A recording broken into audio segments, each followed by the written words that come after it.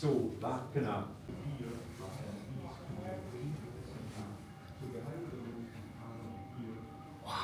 This is the oldest one.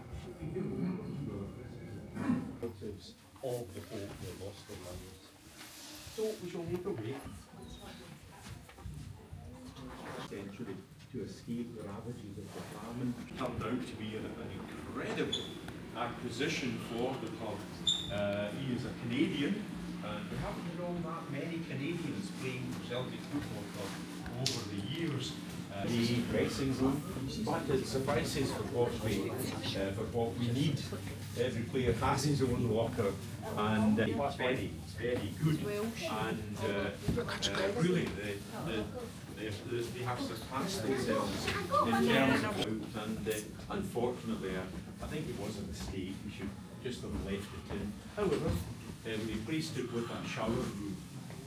Uh, the reason I'm saying, uh, I'm going to say it's not quite the same, the reason being is the great tradition here uh, over the generations was stadion have wielki, sun nie? uh, attached to them.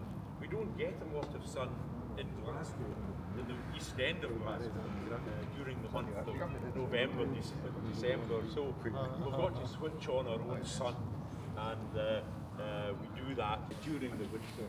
During the winter.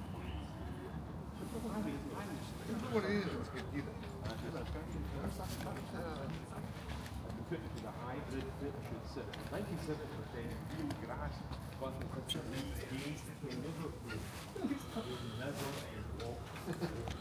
The, the Celtic ladies that, uh, uh, that are downstairs, uh, the, the girls they train just along the road at a place called Barrowfield and uh, they, they train there and for lunch they come back uh, to Celtic Park and they use the away dressing room. Hence the reason we, uh, we've got to respect the privacy and not, not go into the dressing room. Uh, but the away dressing room looks just like the, like the home dressing room. There's hardly any difference. But the Celtic ladies use the director's box situated on this side of the partition.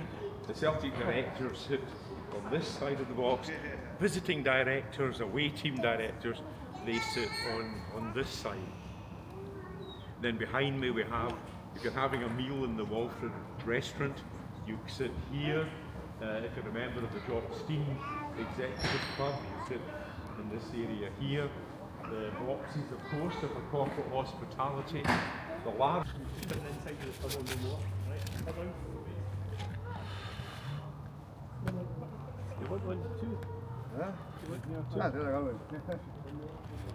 Good, From, from Cyprus, we play tonight against Rangers. good luck.